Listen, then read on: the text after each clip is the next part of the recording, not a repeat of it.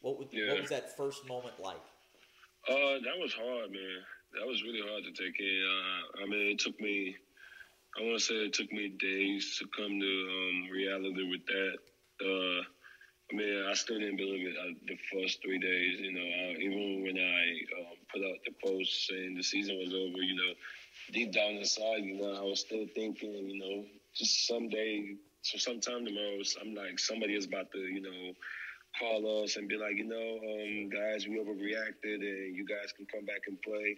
Like I was, you know, I was just waiting for that call the whole time. But you know, as time went on, uh, I finally realized, like, okay, this, uh, this is for real. It's, it's over. And, you know, the way the way it ended is not something you can ever prepare for, even expect. So, I think um, everything, everything being so unprecedented, uh, you know, I think it would be you know, just them talking to me, you know, it was a lot of tears and, you know, it was pretty emotional, but uh, it's just something we had to, you know, just, we just prayed about it. I think that's what I did at least, you know, I just prayed about it and, you know, but also not let it um, bring me down because of the pain it brought with the season being over, but, you know, just being thankful for a great uh, college career and, you know, just being thankful to God for the opportunity to be able to even do this in the first place. So, I think that was how I kind of like handled it.